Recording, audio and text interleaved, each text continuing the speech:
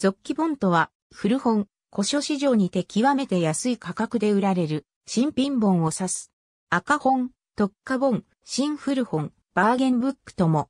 続記とは、一括り、一まとめなどを意味する。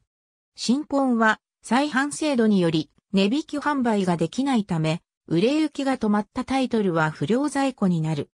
出版社や買取本を抱えた書店にとって、在庫は資産計上され、課税対象になるため、不良在庫は古書市場に一山いくらの捨て値で売却処分される。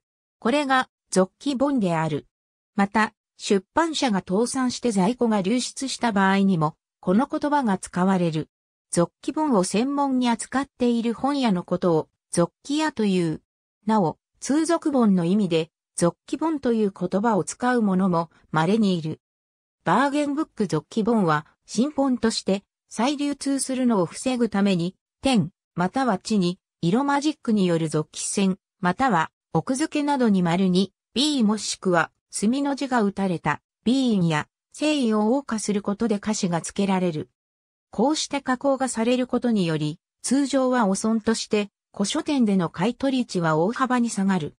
ただし、気候本と呼ばれる出回りが極めて少ない本の場合、人の手を経ていないということで、ほとんど影響が出ない場合もある。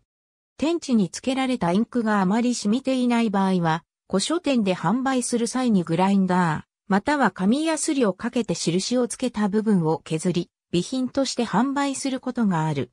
グラインダーをかけて、綺麗にした続記本だけを見た場合の判別は難しいが、並品と並べた場合に若干高さが低くなるので、判別することができる。AB、続記本とは、www.1book.co.jp スラッシュ。2020年6月29日閲覧。知的財産用語商標登録、西川特許事務所。